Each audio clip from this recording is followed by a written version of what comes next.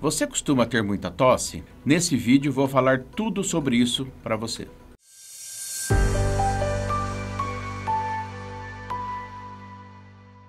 Quem nunca perguntou para o seu médico o senhor não vai me passar um xarope para minha tosse? Meu nome é René Pena Chaves Neto, sou médico pneumologista, coordenador do Departamento de Pneumologia da Sociedade de Medicina e Cirurgia de Campinas. Essa é mais uma dica de saúde da Sociedade de Medicina e Cirurgia de Campinas. Um jeito fácil de transmitirmos informação de qualidade para você e sua família. Hoje eu vou falar sobre tosse. Tosse é um estímulo desencadeado por um reflexo iniciado em qualquer parte das vias aéreas, seja ela das vias aéreas nasais, da garganta ou das vias aéreas inferiores, que corresponde traqueia, brônquios e pulmões. Existe a tosse seca, que é simplesmente um reflexo onde a pessoa expele uma quantidade de ar em alta velocidade. E a tosse produtiva, aquela que existe expectoração ou secreção, geralmente desencadeada por um quadro infeccioso, seja ele das vias aéreas superiores ou de uma pneumonia.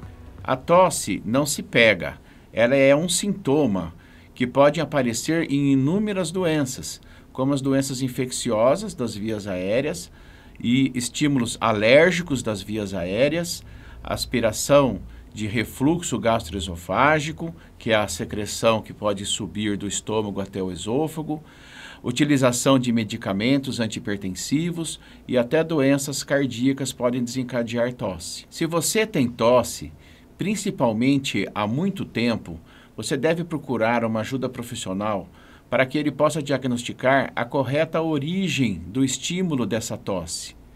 Inclusive, não podemos esquecer que no Brasil, causa de tosse prolongada pode ser tuberculose pulmonar. Como tratamento, até podemos lançar mão de medicamentos sedativos da tosse, mas se não abordarmos a verdadeira causa do que está causando a tosse, dificilmente teremos êxito nesse tratamento. Precisamos ir atrás do real, da real causa e do real diagnóstico, que é muito amplo e muito vasto.